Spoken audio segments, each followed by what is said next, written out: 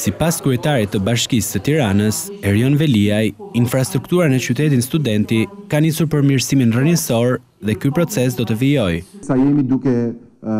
diskutuar për gjithë çështjet që kanë ngritur studentët, Dhe teksa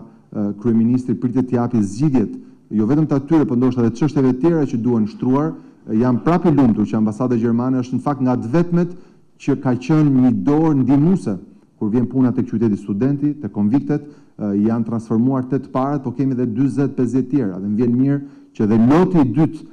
i grantit të KFV-së për të transformuar më shumë konvikte në një kohë më të shpejtë dhe për t'i përgatitur për vitin tjetër shkollor, është në proces edhe për këtë